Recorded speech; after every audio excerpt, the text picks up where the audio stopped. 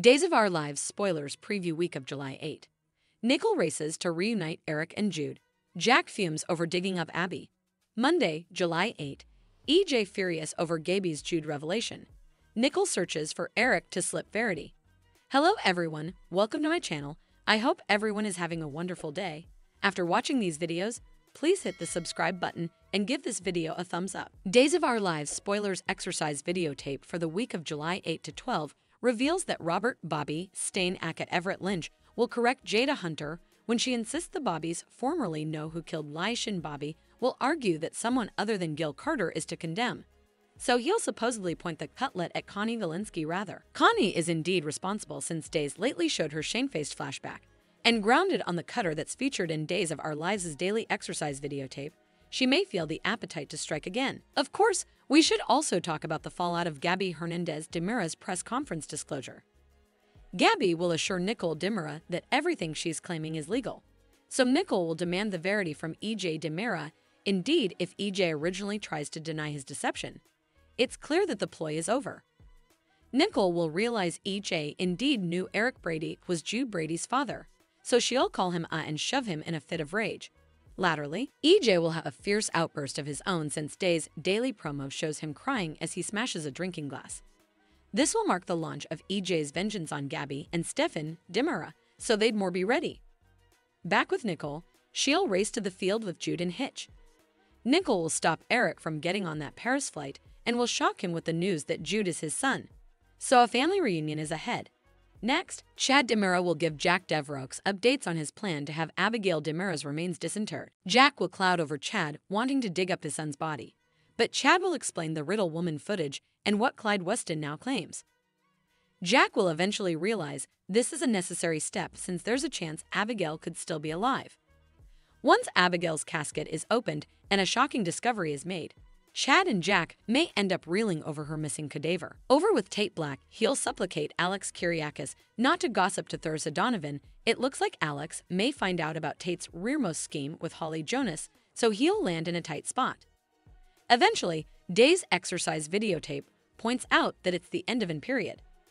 Bill Hayes' final occasion as Doug Williams is coming up on July 11, so snare your Apkins and tune in for Doug's emotional last scene with Julie Williams. Days of Our Lives spoilers Monday, July 8. EJ furious over Gaby's Jude revelation. Nicole searches for Eric to slip Verity. Days of Our Lives spoilers for Monday, July 8 reveal that Nicole DiMera will reel over Gabby DiMera's veritably public allegations. Gabby stepped up to the Tribune at EJ DiMera's press conference and ended up discovering that Eric Brady is Jude DiMera, aka Jude Brady's father.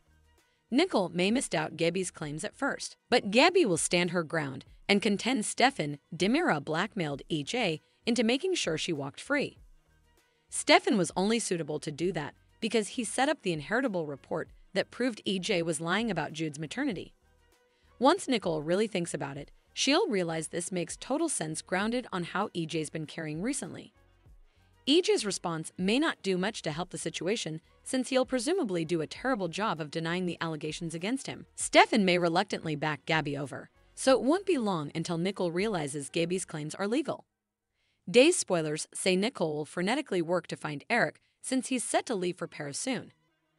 By the time Monday's Days of Our Lives occasion winds down, Nicole should rein Eric with a shocking concession to make. One that's sure to change his trip plans. Meanwhile, EJ will cloud over Gabby, demeaning him in public and going him his future with Nicole. Gabby will feel like she did the right thing, but Stefan will worry about the agony she just unleashed.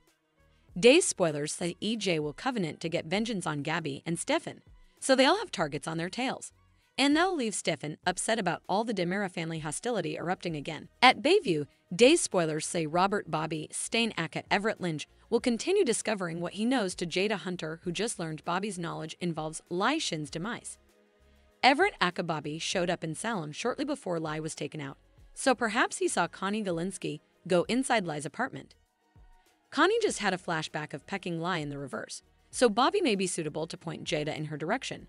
That's if she believes him. Of course, Bobby may or may not know Connie's name, but he could at least offer a description and offer Jada a new suspect. At Bayview, Days spoilers say Robert Bobby Stayne-Ackett Everett Lynch will continue discovering what he knows to Jada Hunter, who just learned Bobby's knowledge involves Lai Shin's demise. Everett Bobby showed up in Salem shortly before Lai was taken out, so perhaps he saw Connie Galinsky go inside Lai's apartment. Connie just had a flashback of pecking Lai in the reverse, so Bobby may be suitable to point Jada in her direction. That's if she believes him. Of course, Bobby may or may not know Connie's name, but he could at least offer a description and offer Jada a new suspect. EJ demanded Gabby for his press conference and was frustrated since she was int back from her trip to Arizona yet. Once Gabby returned and set up Stefan fighting with EJ, she agreed to attend the press conference since Stefan wanted to throw his family a bone after EJ left on Friday's Days of Our Lives show. Gabby dragooned Stefan into dishing about Jude DiMera, aka Jude Brady's maternity, and his blackmail material. Although Gabby claimed they had to tell Eric the verity about his son, Stefan prayed her not to rock the boat again.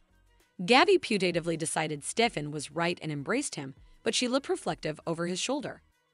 Back in the city forecourt, EJ was willing to surrender control of his shares to move Kristen DiMera to make Melinda her legal counsel at DiMera Enterprises. Kristen took the deal, but she remained curious about why EJ was doing all this. Melinda inked the paperwork, but she'd only tell Kristen that EJ was doing what was stylish for him. At The Spectator on Friday's Day's occasion, Eric Brady told Nicole DiMera that he was taking a photography job at a prestigious magazine in Paris, and he was leaving Moment. Eric formally again explained why he demanded a clean break and allowed it was stylish if he didn't see Jude before he left. Nicole also mentioned that EJ knew about her drunkenly kissing him, so Eric was surprised and didn't know what he'd do in EJ's situation. Nicole eventually got emotional and didn't want to say goodbye, so Eric agreed they wouldn't actually say it. As Eric offered a sad smile and headed for the doorway, Nicole gave a little surge and cried as she watched him go. Eric also broke the Paris news to Marlena Evans after her visit to Bobby and said Nicole would always have a piece of his heart. Once Jada ended up back in Bobby's Bayview room, he played games with her and tried to bargain for his release. Jada hovered to leave if Bobby didn't come clean about what he knew, so he eventually admitted this was about Lay's case. Back in the city forecourt, Rafe approached Gabby as she arrived with Stefan and said he was there to support her at that press conference. Connie walked over to hail Gabby and claimed she was glad about her freedom. Now that the real killer had been caught according to Connie, she suggested Lai could rest in peace. Gabby allowed it was nice of Connie to walk over and make those commentary, but Rafe allowed the commerce sounded strange. Subsequently, on Friday's day's occasion, Connie returned to the scene of the crime and flashed back to pecking Lee from before, so she was revealed as his real killer. Nicole showed up in the city forecourt to cover the press conference for The Spectator. When Nicole eavesdropped Melinda talking to EJ and got suspicious, EJ acted like he just wanted to tell her about Melinda's new job himself. Although Nicole didn't get why Kristen would hire Melinda, EJ prevaricated that maybe she did it just to malignancy him. Once the press conference got a foot, EJ made a speech about his part in getting justice since Gabby was free and Lai's case had apparently been truly answered. When it was Gabby's turn to make a statement, she thanked her musketeers family, and especially Stefan. Gabby only reluctantly thanked EJ toward the very end, and she refocused out that he was the bone who put her in captivity in the first place due to flimsy substantiation. Still, Gabby explained that EJ freed her out of love for Nicole and his hopeless attempt to hang on to her. Nicole was confused, but Gabby claimed it was because Nicole was still in love with Eric, and Eric was the father of her baby. Thanks for watching these videos. Please hit the subscribe button for more updated news.